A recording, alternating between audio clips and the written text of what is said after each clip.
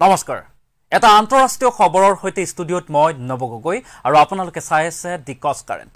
ৰাছিয়াৰ সাংসদসকলেও যোগ দিব লাগিব ইউক্ৰেইনৰ যুদ্ধত। অৰ্থাৎ এতিয়াও ক্ষান্ত হোৱা নাই ৰাছিয়াৰ ৰাষ্ট্ৰপতি ভ্লাডিমিৰ পুটিন। শেষ হোৱা নাই ৰাছিয়া ইউক্ৰেইনৰ যুদ্ধৰ বিভীষিকা। এইবাৰ ৰাছিয়াৰ সাংসদসকলেও যোগ দিব লাগিব ইউক্ৰেইনৰ যুদ্ধত আৰু এই নিৰ্দেশ দিছে ৰাছিয়াৰ ৰাষ্ট্ৰপতি ভ্লাডিমিৰ পুটিনে। জনাইছোঁ সবিশেষ এই মুহূৰ্তত দিগজ কান্ত দৰ্শকসকলক যে ৰাছিয়াৰ ৰাষ্ট্ৰপতি ভ্লাডিমিৰ পুটিনৰ বিশেষ নিৰ্দেশ যে এইবাৰ সাংসদসকলেও যুদ্ধত যোগদান কৰিব লাগিব। ৰাছিয়াৰ সাংসদসকলেও যোগ দিব লাগিব। ইউক্ৰেইনৰ যুদ্ধত এই নিৰ্দেশনাৱলী প্ৰেৰণ কৰিছে ৰাছিয়াৰ ৰাষ্ট্ৰপতিয়ে। প্ৰায় তিনি লাখ সংৰক্ষিত সেনাকো পুনৰ সামৰিক সেৱাত মোতায়েনৰ নিৰ্দেশ দিছে। আৰু এই ঘোষণাৰ পিছতেই বহুতো ৰাছিয়ান নাগৰিকে এৰিব বিচাৰিছে এতিয়া দেশ। পৰা পঁয়ষষ্ঠি বছৰ বয়সৰ পুৰুষক দেশ এৰি যোৱাত বাধা আৰোপ কৰা হৈছে। মাত্ৰ এটা আন্তঃৰাষ্ট্ৰীয় ডাঙৰ খবৰ যে শেষ হোৱা নাই ৰাছিয়া ইউক্ৰেইনৰ যুদ্ধৰ বিভীষিকা আৰু তাৰ মাজতেই ৰাছিয়াৰ ৰাষ্ট্ৰপতি ভ্লাডিমিৰ পুটিনৰ বিশেষ ঘোষণা যে ৰাছিয়াৰ সাংসদসকলেও যোগ দিব লাগিব এইবাৰ ইউক্ৰেইনৰ যুদ্ধত।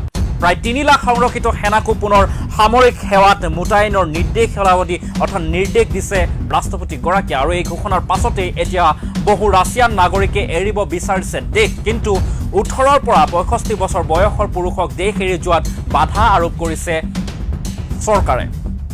ৰাছিয়াৰ চৰকাৰে। আমি জনাইছোঁ যে আন্তঃৰাষ্ট্ৰীয় এটা খবৰ যুদ্ধৰ বিভীষিকাৰ মাজতে আন এক খবৰ অৰ্থাৎ এতিয়াও ক্ষান্ত হোৱা নাই যেন ৰাছিয়াৰ ৰাষ্ট্ৰপতি ভ্লাডিমিৰ পুটিন।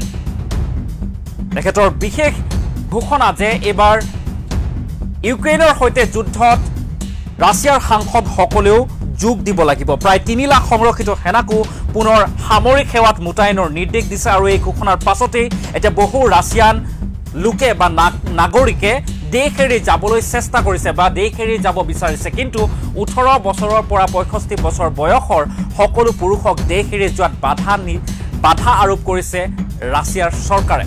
আৰু যিহেতুকে ৰাছিয়া আৰু ইউক্ৰেইনৰ যুদ্ধৰ বৰ্তমান পৰ্যায় পৰ্যন্তলৈকে অব্যাহত থকা খবৰ আহি পৰিছে আৰু যিহেতুকে ৰাছিয়াৰ ৰাষ্ট্ৰপতি ভ্লাডিমিৰ পুটিনে পুনৰবাৰ ঘোষণা কৰিছে যে ৰাছিয়াৰ সাংসদসকলেও এবাৰ যুদ্ধত অৱতীৰ্ণ হ'ব লাগিব অৰ্থাৎ যুদ্ধ কৰিব লাগিব ইউক্ৰেইনৰ বিৰুদ্ধে। অৰ্থাৎ ৰাছিয়াই আক্ৰমণ কৰাৰ পিছতেই একেবাৰে ধ্বংসস্তূপত পৰিণত হৈছিল ইউক্ৰেইন আৰু তাৰ পিছত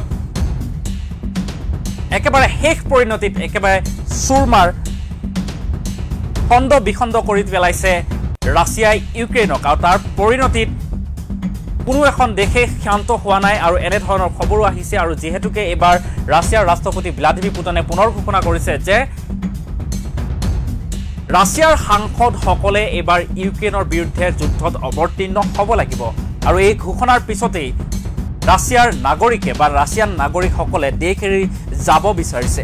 আৰু ওঠৰ বছৰৰ পৰা পঁয়ষষ্ঠি বছৰ বয়সৰ যিসকল পুৰুষে দেশ এৰি যাব বিচাৰিছে বা দেশ এৰিব খুজিছে অৰ্থাৎ ৰাছিয়া এৰি অন্য দেশলৈ গুচি যাব বিচাৰিছে সেইসমূহ লোকক অৰ্থাৎ ওঠৰ বছৰৰ পৰা পঁয়ষষ্ঠি বছৰ বয়সৰ পুৰুষসকলক দেশ এৰি যোৱাত বাধা আৰোপ কৰিছে ৰাছিয়ান চৰকাৰে। এই মুহূৰ্তৰ দেশৰ অৰ্থাৎ আন্তঃৰাষ্ট্ৰীয় এটা খবৰ যে ৰাছিয়াৰ সাংসদসকলেও যোগ দিব লাগিব ইউক্ৰেইনৰ যুদ্ধত। বৰ্তমান পৰ্যন্ত শেষ হোৱা নাই ৰাছিয়া ইউক্ৰেইনৰ যুদ্ধ। আৰু এনে যুদ্ধ বিভীষিকাৰ মাজতে পুনৰ ভ্লাডিমিৰ পুটিনৰ বিশেষ ঘোষণা যে ৰাছিয়াৰ সাংসদসকলেও এইবাৰ যুদ্ধত অৱতীৰ্ণ হ'ব লাগিব বা যোগ দিব লাগিব ইউক্ৰেইনৰ বিৰুদ্ধে যুদ্ধত।